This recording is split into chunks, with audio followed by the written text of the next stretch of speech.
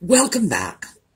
So, today we are picking up on that same shopping trip at Bedford Antiques that I did last week. And last week I showed you the haul from one particular booth. So now we're going to get a chance to look at all the rest of it. All right, when we come back.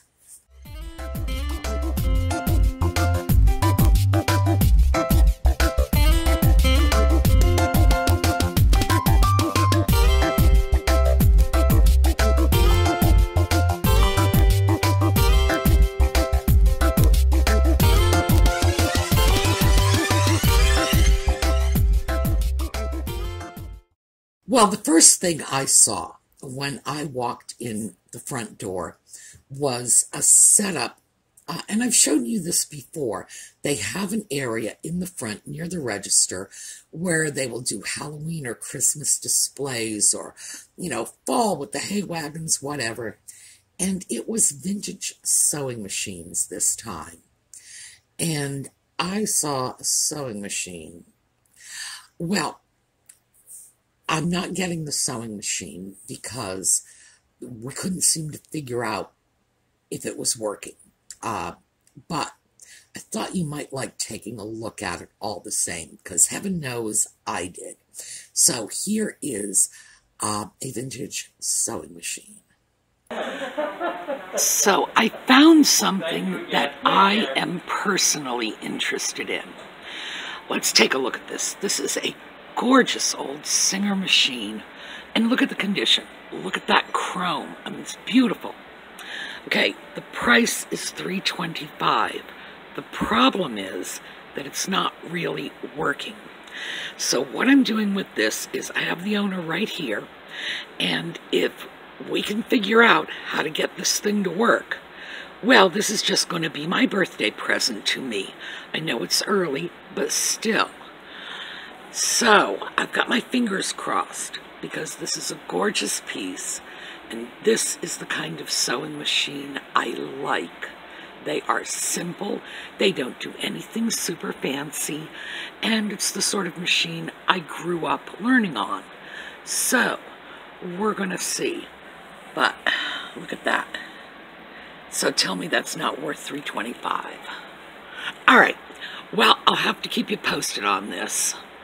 Now, that's the kind of sewing machine I grew up on. Um, when I was a kid, my mother was not a sewer. So when I wanted to sit down at a sewing machine, it would be my grandmother's sewing machine.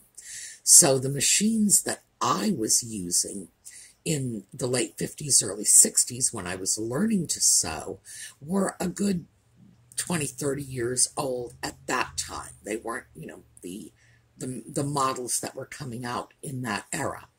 Uh, it was a long time before, I think it was the late 60s, before I actually got like a new sewing machine. And I have to say, I like the old ones better. It's just me, but I really do. So, if we can figure out what's wrong with that old machine, and it's still available for sale, I may go back for it. Uh, next up, I went over to the corner booth and uh, we go in there. That's usually the first thing I see because I'm heading toward the second floor. So I go in the door, I turn right, and there is that booth, and it's a large booth, all kinds of stuff. And this time I found something quite interesting, and I thought I would share it with you. Oh, by the way, it did come home with me. What we have here is a pair of occupied Japan figurines, and let me just turn these around.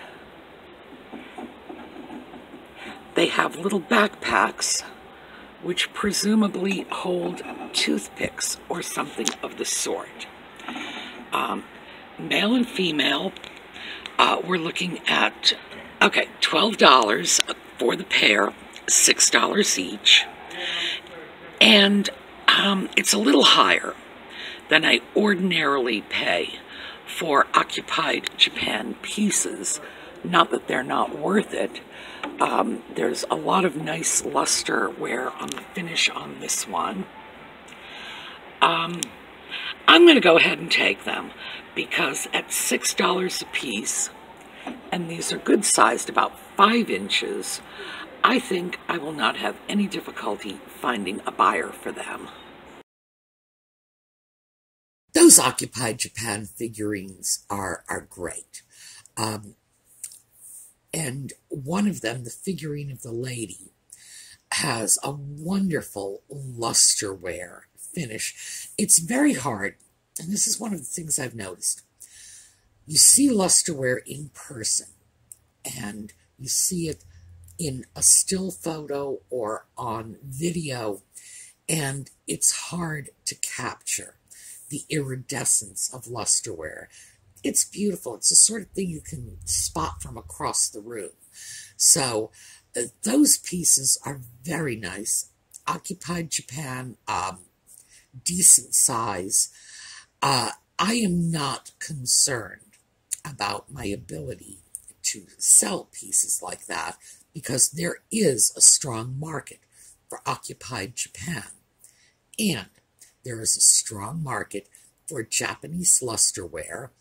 Uh, there is a strong market for Asian art pieces like that, figurines, and believe it or not, a strong market for little toothpick holders. So, uh, the toothpick holders is the only part that really surprises me. I just don't understand why toothpick holders are and have always been such a thing. I get it from times past, but I have a feeling if my dentist thought for one instant I was cramming little bits of wood into my mouth, he'd probably have something to say about it. Nevertheless, people do collect toothpick holders. So I went around, and of course, I saw Janine's booth on my way upstairs. We already saw that video. But then I stopped at the foot of the stairs and took a look at some things in the booths there. So let's take a look at what I saw heading up to the second floor. Well, this is a piece that is not coming home with us. Uh, Japan piece uh, Ucagco, that was the importer. We've got a beautiful little Capodimonte style flower here. And guess what this is? Yes, indeed, those little um, rests in the corner are for your cigarettes. This is an ashtray. Can you imagine anybody stamping out their butts in something this pretty? I know, but they did it all the time. So it stays, unfortunately, and we are off on the hunt again. Now, Ucagco is that's the company I mentioned. That is one of those American based companies that imported Japanese goods in the mid century. Um, and I think I've mentioned, I, I imagine I've got about 30 names on my ongoing list of Japanese import companies from the mid century. And this was a thing. These things were everywhere. That little Capodimonte style ashtray with the little um, uh, three dimensional flowers. I, I, it's beyond me why somebody would say, oh, yeah, I'm going to put my cigarette out in this, but they did. That was a thing.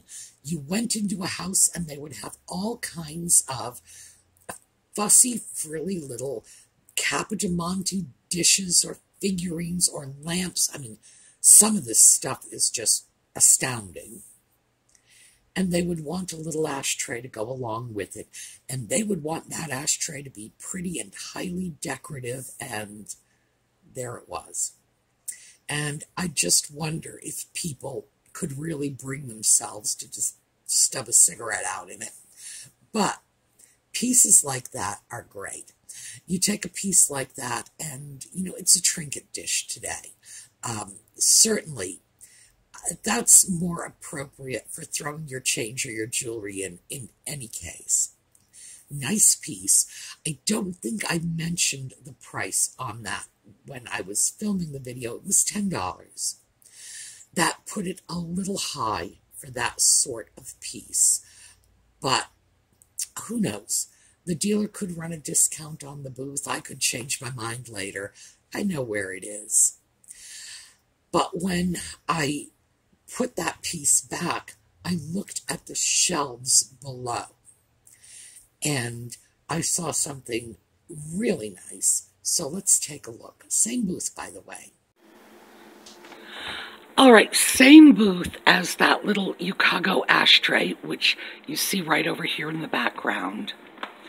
We have a figural lamp, uh, two Chinese people.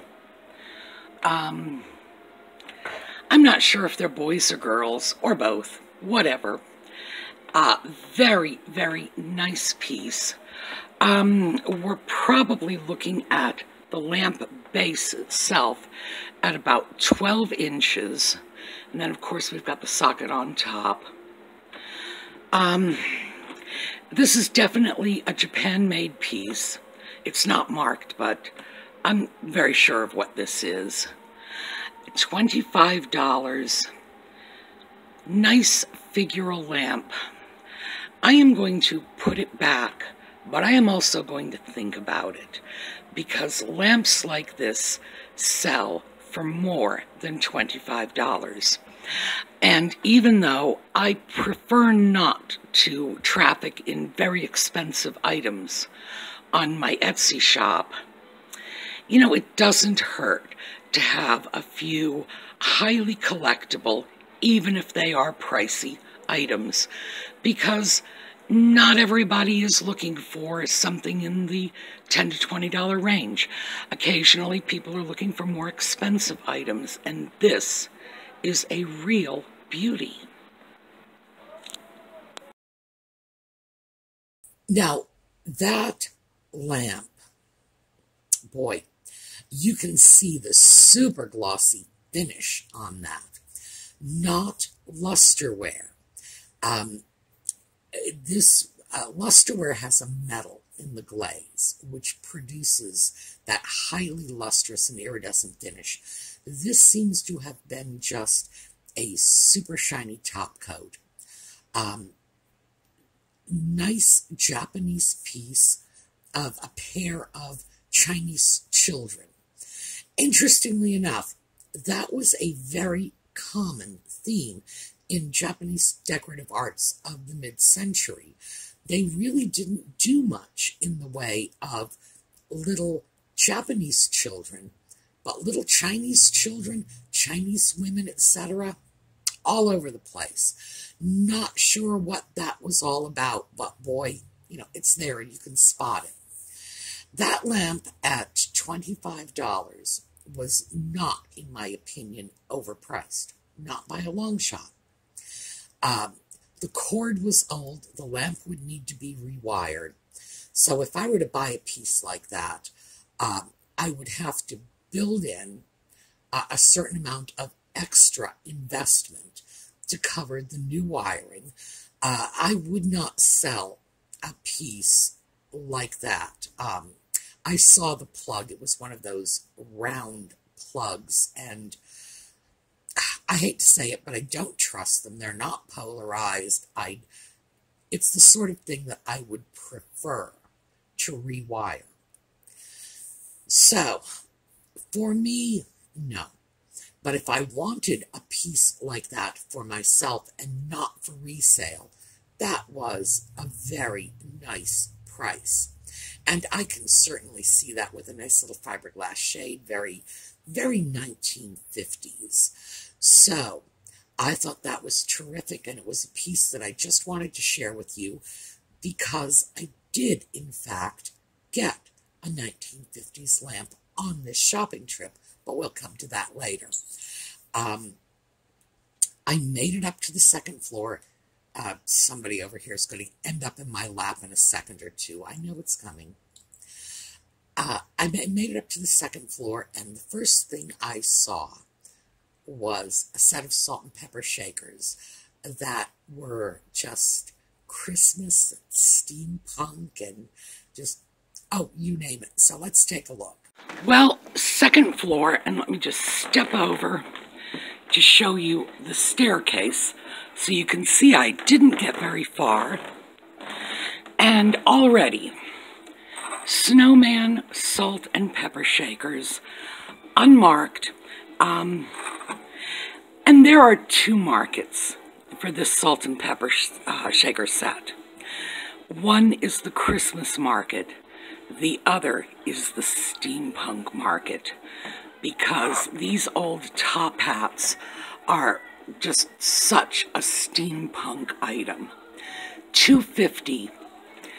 Oh yeah, they're coming home with me. But before we walk away, I know some of you like these little hens in baskets.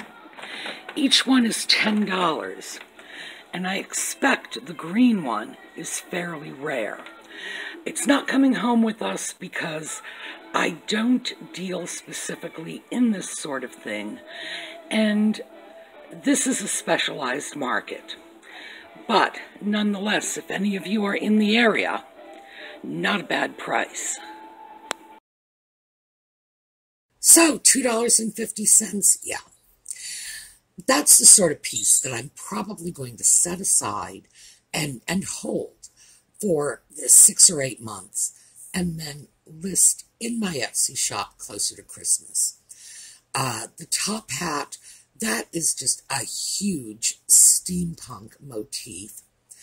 And the whole Christmassy thing, I think this is something that is probably going to sell more easily in November or December than it would right now, February, March. Nevertheless, I thought they were really nice pieces, and I was glad to get them for the price. So after this, I went into, uh, no, I'm sorry, take that back. While I was still in that area, uh, I did that quick film uh, with the little hens in nests because that is a thing. Some people collect them. It's nothing that really appeals to me, but glassware collectors actually, you know, find that quite collectible. So I did want to show that they are out there. They are available at reasonable prices in a variety of colors. I think one was milk glass and two were colored glass. One was green and one was amber, I think. Um, they're out there in variety and at good prices. So, throwing that out for all of you glassware collectors to take a look at. Next, I went in to a booth that I do not ordinarily spend a great deal of time in. And this is because I've gone in there, I've looked at their things. Um, a lot of it just seems overpriced to me. Um, most of it is not really old. It's vintage in that sort of 25 year old vintage thing. Um, you know, the 1980s, 1990s, that vintage era, not vintage going back into the 40s, 50s, whatever. No. Um, there's not a lot that really appeals to me in that booth, but I decided to check it out anyway. So, lesson learned whenever you see a booth, look in. You never know what you're going to find. And this was a booth that I had become accustomed to thinking of as an I'll walk right past you because you don't have anything for me. Well, surprise, surprise. So let's take a look. Now, this is a booth that I usually just pass by. Um, I find that nothing is exceptionally old, nothing is exceptionally interesting, but I did see a couple of interesting things today. Now, the seller does him or herself no favor with these ribbons because they obscure the piece. This is a mid-century Scotty Dog ashtray. Um, and it is a Japanese piece. The seller is saying it's Art Deco era. era. No, it is not. It is mid-century. How can we tell? That's how we can tell. Um, nice piece. At $18, it is a little too much for me. Thank you. But let's slide over here and take a look at another piece. This is $20. This is from the same era, and this is one of those planter lamps that were so popular in the 60s, uh, 50s and 60s, you know, when people had television sets. And this was a huge thing in that era. Outdoor barbecues and people having their own little fire pits and just that was a thing. And this is a beautifully executed piece. The shade is all wrong for it, but $20, not bad. It's not a great price, not by a long shot, and it's not a good enough deal to lure me into picking it up because frankly, I would have to redo the shade or just get a completely different shade. I don't know which. Nice mid-century sort of image, even though it's not classically what we think of as mid-century.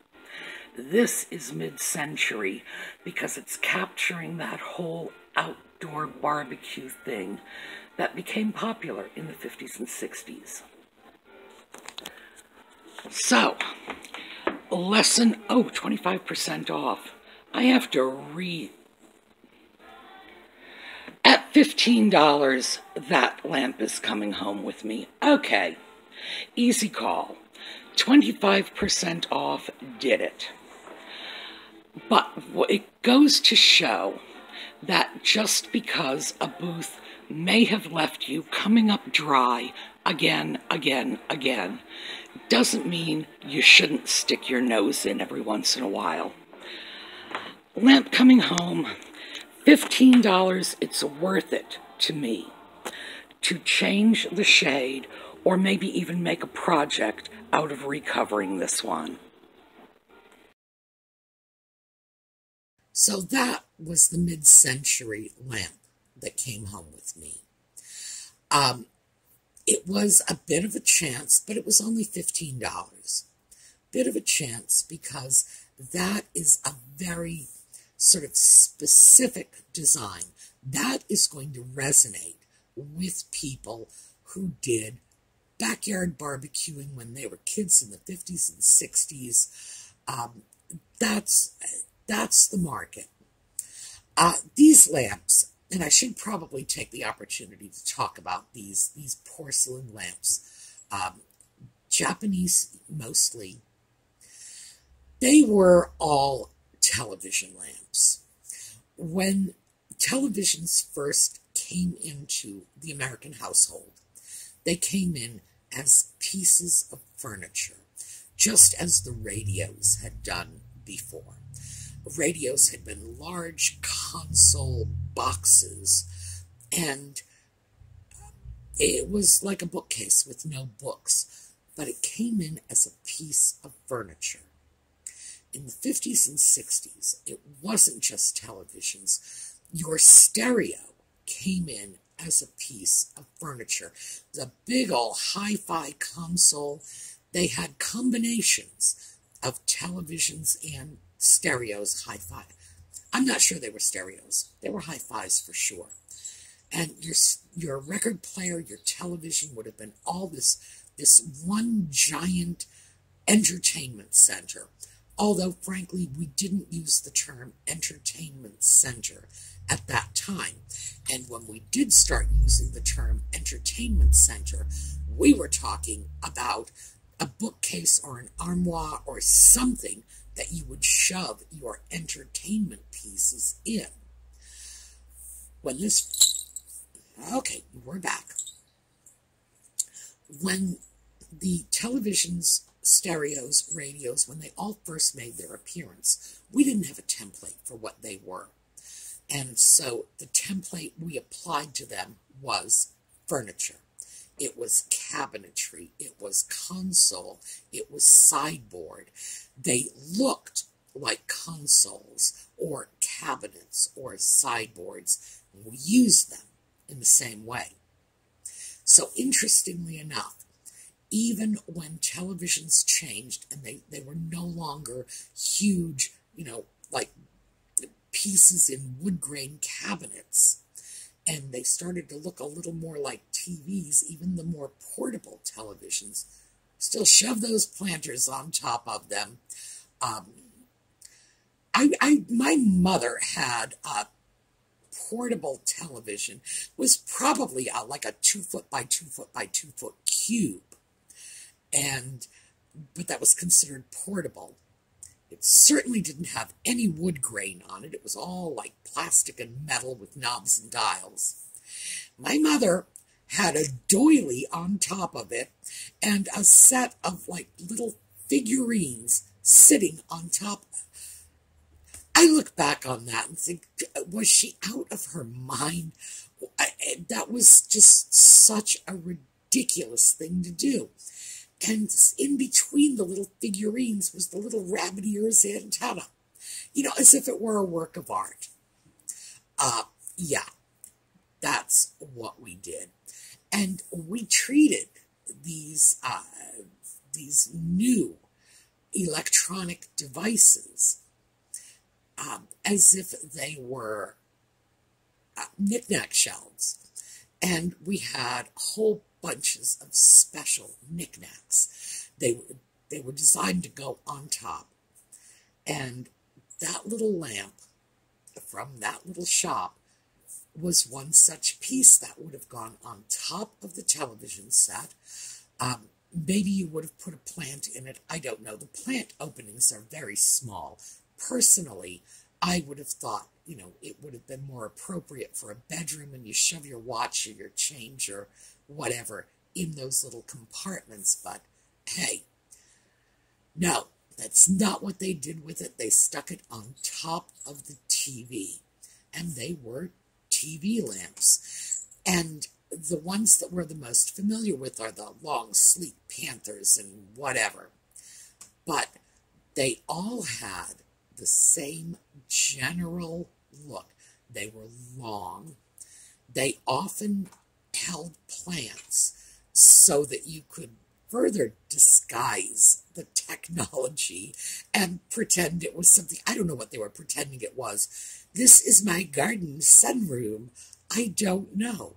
You stick a plant in there, and they had their little fiberglass shades, and, you know, that was the thing. And I know we can look at it and laugh. Heaven knows I do. I make fun of them shamelessly because it was my childhood. It's what I grew up with. And what I didn't see in my own home, I saw in my friends' homes. And this stuff was just, it was ubiquitous. I look back on that now and think to myself, who were we kidding? This was not a, a sideboard or a console. Why were we pretending and we were? So I grabbed that lamp because at 25% off, $15, I can afford to take a chance on it. And I think I would like to do something about creating a shade for that lamp. I think that would be a nice project piece to tackle, to try to figure out what would be the right kind of shade for a lamp like that. Not necessarily the kind of shade it may have originally had, but what would be good for it? What would really work well and carry that 50s look, you know, into the whole piece because that green gingham pattern shade was all wrong. So that was absolutely coming with me. Project piece probably will not show up in my shop for a while, but we're going to do something with that. And then, of course, remember that little Scotty ashtray. So, Okay, 25% off. So at 13.50. I still consider this Scotty dog to be a little on the high price side, but he is coming home with me because there are just too many markets for this piece. Scotty dog collectors are just a huge market. We've discussed that before. People who have these little dogs like having the stuff wrapped around these little dogs in their homes, and they just collect like crazy. They wear Scotty jewelry. I have a friend like that. They wear Scotty jewelry. They they drink their coffee from Scotty mugs. It's such a big deal. And because this is a really nice mid-century piece, it has that market too. Yes, at $13.50, suddenly that $18 Scotty ashtray became a much more attractive buy. It's a very, very nice piece. Um, Japanese import, no, not Art Deco, mid century. But we've talked about this before. A lot of people make that mistake because there were a great many elements that were present in Art Deco design that were also present in mid century design. But in this case, no. They're off by about 20, 25 years. That is a piece that would have come out in the 50s or 60s. But as I say, at 1350, absolutely much more attractive price. And while I am on the subject of the Scotty dog, did you notice that little ribbon? Now, that was that sort of thin, papery ribbon. Um, oh, you see it coming out at Christmas time a lot. It's just, uh, it's not cloth ribbon. It's tied around the dog's neck, and it was tied on other items in that shop. I've got to tell you, I think that is a mistake because when you go into an antique booth and you're scanning around, just visually scanning, you don't want things like the price tag, and that's what this ribbon was holding. You don't want the price tag to distract your eye from the piece or to, to muddy your vision. You want people to be able to see the piece itself and not get distracted by something that, that is of no interest to them. So, for those of you who are doing uh, brick and mortar antique booths, keep that in mind. It's not something your customers are going to appreciate. I was having difficulty just getting that ribbon out of the way so that I could see the piece. I just don't think that's a very good idea at all. Remember, you want your item to be what people see. You certainly don't need your price tag to be what they see first. You know, you want to sell them on the item, and then they're going to look at the price tag and say, mm, okay, you know, you don't want you don't want to do that the other way around because people are more likely to buy when they've made that little emotional investment in the piece. All right, so that is what we have today. Uh, and we have much more from this trip, which is good because it looks like we may be snowed in for the next couple of days here. So, no shopping for me, at least until they clear the roads out a little. All right, I hope you are all doing well. Those of you who are in the path of the snowstorm, you know, stay warm, stay safe. You know, this too shall pass. And in the meantime, let's take a look at JLS's wonderful Horizon Pictures, and I will see you all tomorrow.